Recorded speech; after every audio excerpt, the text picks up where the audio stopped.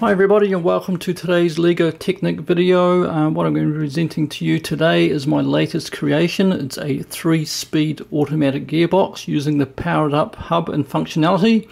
So when powered up first came out, um, to be honest, I didn't think that much of it. I thought I was just pretty much power functions but using your phone as a remote. So instead of using your regular physical uh, remote control like this, it uses a phone with Bluetooth and I thought that was pretty much all that was to it, but actually I was quite wrong. Um, Powered Up is actually really powerful. I've downloaded the Powered Up app onto my phone and discovered you can actually do a lot of programming that I didn't realize you can do. And what that meant is you can actually control like motor speed, motor position, you can use the motor to measure angles and things like that. So using all those ideas, I've come up with a three-speed automatic gearbox that I'll be presenting to you today. Okay, so before we begin, I'll tell a little bit about the Powered Up app. Uh, when you first run it up, the Powered Up app, it comes up with the standard LEGO uh, sets that use the Powered Up controllers, and you can use that to control, for example, the train or something else like that. However, it's also got um, its own create function, so over here you can create your own programs, and I've just created a small Powered Up demo program. So what the Powered Up allows you to do is actually program up uh, behind the scenes using these kind of visual blocks, uh, very handy. So you can create uh, you can create loops, start, stop, pauses. You've got uh, the motor controls. You've got different inputs. You've got a lot of different logic functions. There's actually a lot to the app that allows quite a lot of flexibility. And what I've done here, I've written a small program just to control just a, a single motor connected up to a hub like this. And what I've programmed in is the ability to turn on that motor at uh, different speeds and also different directions and also show you how you can control the position of the motor. So if we go back to the uh, controller, so just simply made the yellow button 1 turn on the, the motor at a 50% speed. So again you can control the speed uh, as well as direction. I've made button uh, the green button go in reverse direction at 100% speed uh, and I have made so I can stop it like that and also I've made the blue button rotate at 90 degrees so you can rotate at any angle that you like. And not only that you can also measure that angle that you're at. So at the moment this dial here shows you the angle of measurement. I can reset that measurement back to zero. And when I do a 90 degree turn you can now see that the motor is, is at roughly 90 degrees. So if we do that again 180 so it's a very powerful programming interface. And what that means is you can not only control the motor speed position uh, and angle of rotation and things like that, but you can also actually use the motor as a measurement tool. So not only is it showing the angle that it's uh, rotated to by pushing the blue button, but I can also rotate it manually. You can see, my hand's not in the way, you can see the, um, the angle changing on the display there. You can use that as a measurement method for measuring uh, location of the motor. So you can use it as a sensor, not only is a motor to generate power, but also as a, a measurement tool. And I've used that very measurement in my three uh, speed automatic gearbox to measure the torque uh, on the output. So in general, when you're building an automatic gearbox, the idea is to have some sort of a torque measurement device. So here we've got the output, here I've got an input, and here I've got a gear switching mechanism to switch between one of two gears, a, uh, a high gear and a lower gear. And the idea is, is that when the input's rotating and the output's rotating, that as soon as there's some sort of torque on the output, um, the torque measurement device will measure that and then switch gears. Now I've made an attempt at creating a gearbox like this in the past using the orange rotary catch to uh, drive the gear selection. But the problem with it is, is that as soon as there's any sort of torque on the output and it starts rotating that orange rotary catch in order to be able to shift gears from gear 1 to gear 2 or 2 to 1. Uh, the problem is that it loses traction because momentarily um, the output will be disconnected from the input. So for example, if I rotate the input and then hold the output still, it'll start rotating the orange rotary catch in order to make that switch. But what happens is that you kind of lose traction and it kind of just pops. It doesn't fully connect onto the other gear in order to to you know carry on uh, with the gear switch. And so that's been a big problem. So I have made attempts in the past to create an automatic gearbox like this. But like I said, you lose that traction and then it stops working. So the idea with the uh, powered up functions is that because when you do the torque measurement, you can, through your program, uh, instruct one of the motors to change gears. Uh, so even if you do lose that traction because of the programming, you can force it to carry on rotating the orange rotary catch into the correct position. And of course, because you can program the position of the motor like I demonstrated before, at for example 90 degree angles, it's uh, very convenient in that you can just program it to make exact um, 90 degree switches for changing gears. So that is the benefit of using the Power Up app. So you can overcome some uh, mechanical limitations that you might find otherwise when you do try to build an automatic gearbox. Okay, so I'll just tell you a bit about this automatic gearbox. Now it is relatively complicated compared to other automatic gearbox designs, but it, it does give you a lot of benefits. So what I've got here is the main driving motor, so I've used a, uh, a large powered up motor for that. Um, over here I have got the uh, gear switching mechanism, so in this case I've created three forward gears and one reverse gear and the automatic gear switching just for the forward gears and you can manually switch uh, to reverse. Uh, we've got the output here.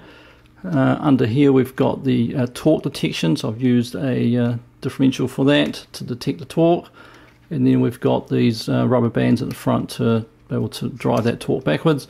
That torque detection then rotates this motor here which is used as a, a, position detector so it doesn't actually drive the mechanism it's purely used for detecting the torque so as there is torque on the output this part here will rotate and rotate the position of that detection motor. And then finally I've got another motor to actually uh, for the gear switching.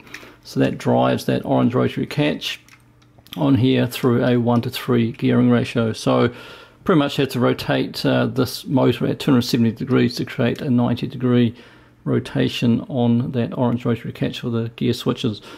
So um, overall, so I've got the program that I've written on the iPhone in order to control the whole system and the idea is, is that as you measure the torque, it'll switch between the three different gears. Uh, so as when the torque's the maximum, it'll switch down to the lowest gear. So in this case, the lowest gear has got a 1 to 5 gearing ratio, uh, so that's 0.2. I think the next gear up is 0.6, and then the highest gear is just 1 to 1. And I've driven the overall output through another 1 to 3 um, gearing ratio in the middle there. Alright, so I'll just show you the powered up app I've created for controlling this uh, 3 speed automatic gearbox. So I'll just bring that up now. Now unfortunately in the powered up app you can't really label your buttons, you can choose different colours but you can't really put labels on so you can remember kind of what button does what just from uh, memory in terms of the colours or the way you've got it laid out. So what I've created over here is this red button and that is the calibration button. Now you, with the powered up app uh, because you can measure positions of angles of motors and things like that and use the angle of the motor to go to a particular position you generally have to calibrate your model first because when you first start it that motor rotation could be at any angle, so you have to kind of take it to its extreme and then come back again in order to be able to calibrate the motor. So I've created that red button to do that, so I'll just push that, and that will calibrate the um, gear change motor. So obviously it needs to know what position it's in in order to change gears. Uh, so it just what it did there, it went to one extreme, and then from that extreme it went back and worked out the uh, correct uh, angle for the starting position. I've also created three buttons for changing gears. I've got gear one, two, three, and reverse. So by pushing one of those, for example, gear two, you can see uh, that rotation on the on that motor to, to change to gear two, gear three, and gear one. Uh, I've got this very small switch up here that just turns on the main motor, so I can turn that on now. And you can see we have got output rotating. And we're currently in gear one, I believe. So that's gear one. So gear 2, I'm going faster. And gear 3 is the fastest, a little bit rattly, but it's the top gear. And then we can go in reverse like that, and we can turn the motor off again. Uh, this dial here measures the torque output, so like I said before, we've got that yellow indicator there attached to the torque measurement motor, and by rotating uh, that, we can see on the iPhone screen, we can see that number here changing. Uh, so that is what's used to measure the torque on the output. Uh, so I'll just give you a demonstration of that first. So like I said, uh, the automatic gear switching button is that one. So at the moment it's kind of in manual mode.